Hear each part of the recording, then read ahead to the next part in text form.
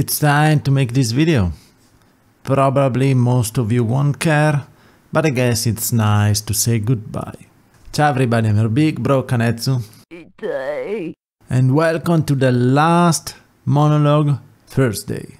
I'm here to say goodbye, because all things must come to an end. I don't have any reason to keep on making videos on this channel. And after 5 years it's time to end it. After all, I've never been consistent with the content here, and I have to admit that I am not that good at making videos, especially since I'm not even good with the language. But it doesn't matter anymore. I don't think that YouTube is the same place as when I started, and for what I can see I can't be like other content creators, because it seems that you have to make really long videos now. But who cares? I had dreams that I wanted to achieve, but I don't have them anymore. And you gotta know when it's time to give up.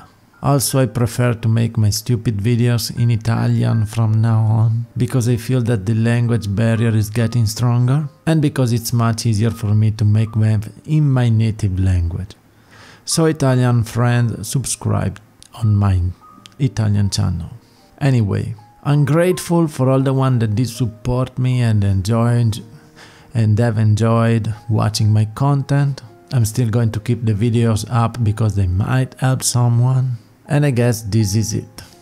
Goodbye and remember that I'm proud of you and I believe in you.